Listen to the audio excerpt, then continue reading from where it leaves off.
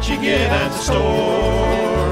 I don't buy my clothes off the rack. I make my shirts out of gunny sack. If my pants get a little slack, I'll cut some rope. Time on back in there. Homemade. Nice and easy. Homemade. Soft and pleasy. Homemade. So much better than what you get at store.